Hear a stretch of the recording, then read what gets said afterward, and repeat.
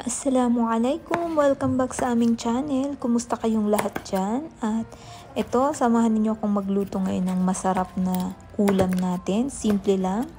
At ito na nga, uh, maghihiwa tayo nitong dalawang chicken breast.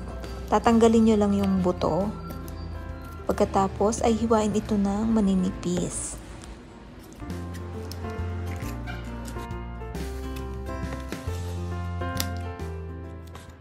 Pagkatapos hiwain itong chicken breast, ilagay sa isang mangkok. Pagkatapos ay timplahan natin ng asin.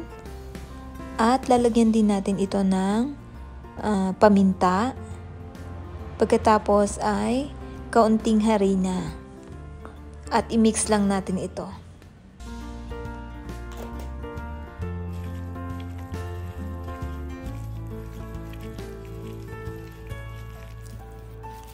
At iset aside muna natin ito, hayaan nating mamarinate saglit at himaghiwa muna tayo ngayon ng broccoli.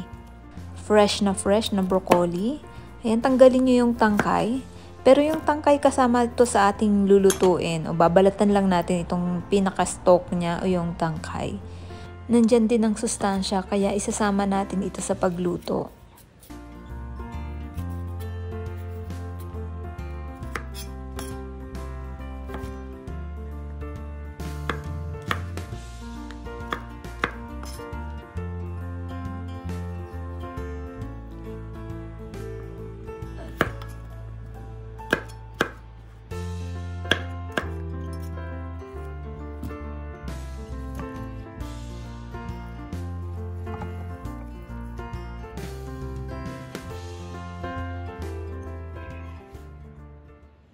Ihahanda ko naman ngayon yung para sa sauce.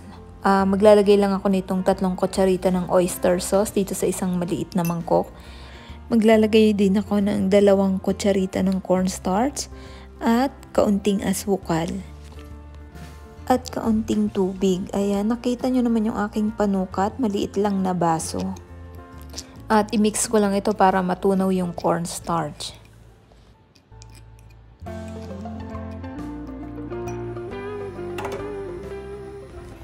Papakuluan naman natin ngayon itong broccoli. Bukod lang siya. Pagkatapos ay timplahan natin ng asin para may lasa yung broccoli.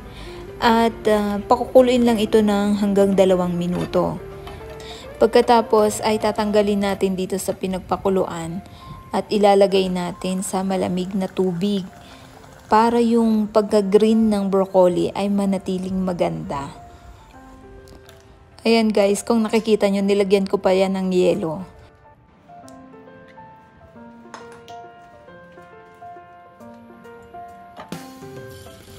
Ngayon naman ipiprito na natin itong chicken na pinimplahan natin kanina. Ayan. Maninipis lang ang pagkahiwa nito kaya madali na lang itong maluluto o madali na lang itong maprito.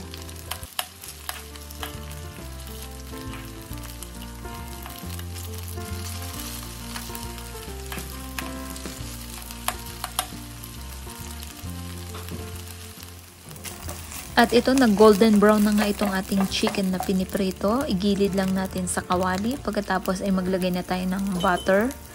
At dito na tayo magigisa ng diretso. Pagkatunaw ng butter, ilagay nyo na yung bawang. At gisa-gisahin lamang. Pagkatapos ay haluin nyo na. Paghaluin nyo na itong chicken na pinirito natin at itong bawang. At ngayon ilagay na itong mushroom yung uh, nasa lata na mushroom lang yung ginamit ko. Ayan na nga. Pagkatapos, ayan, lagyan pa natin ng konting oyster sauce para magkaroon ng lasa yung mushroom. At halu-haluin lang.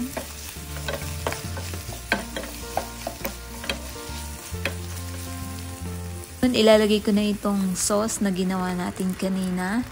At make sure nyo lang hinaan nyo yung apoy para hindi naman matuyo kaagad itong pinaka-sauce natin.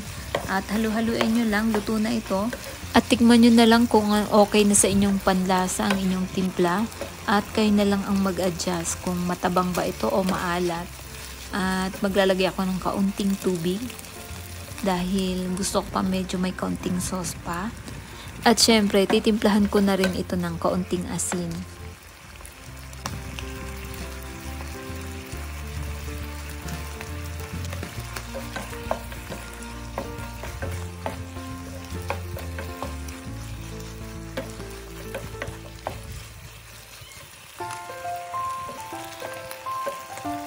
Ayan, okay na sa akin itong aking timpla. Ngayon ay ilalagay ko na dito yung broccoli. Ayan, nakikita nyo guys, maganda pa rin ang kulay nitong broccoli. Ang ganda ng pagka-green niya, fresh pa din. Haluin lang ito ng saglit para uminit yung broccoli. At pagkatapos ay okay na ito, pwede na nating ihain ang ating masarap at simpleng ulam ngayong araw. At ayan, ito na po ang ating masarap na ulam at binudburan ko lang ito ng kaunting sesame seeds.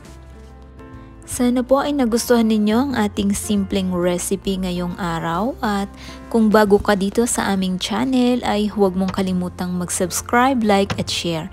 I-click mo na rin ang notification bell. Yun lang po. Thank you for watching.